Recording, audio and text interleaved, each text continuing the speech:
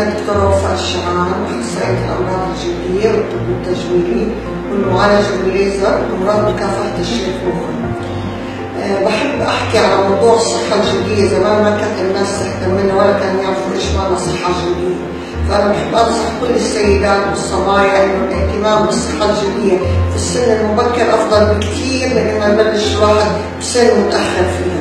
فأهم شيء من الصحة الجلدية إنه الواحد لازم يستخدم ال day cream وال night cream يستخدم واقي للشمس. ويبلش بعمليات الطب التجميلي اللي هي عبارة عن التقشير وال mesotherapy وال filler والبوتوكس والليزر. كل الأشياء هذه بتحافظ على البشرة وتخليها تضل نضرة نقية وصافية.